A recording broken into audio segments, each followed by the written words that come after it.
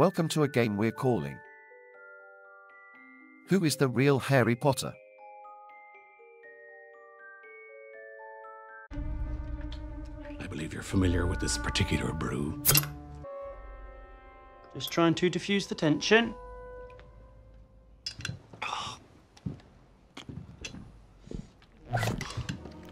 Ah.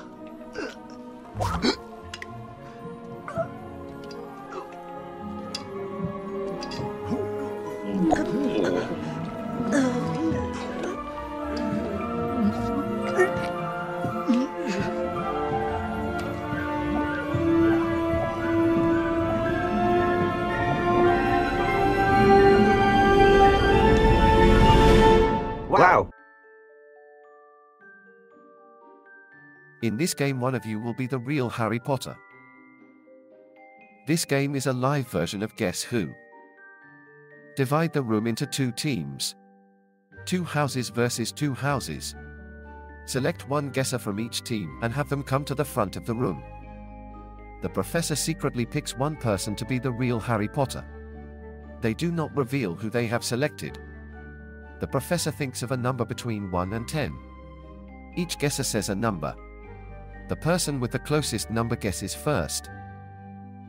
All participants in the room stand up.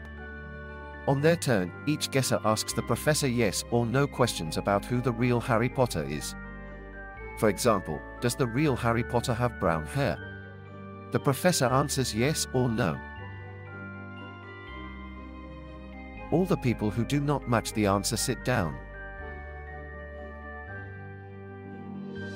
Once one of the guessers is ready to guess who the real Harry Potter is, they may do so on their turn. If they get it right, they win. If they get it wrong, the person that they guessed must sit down. Play continues as normal with their opponent taking their next turn.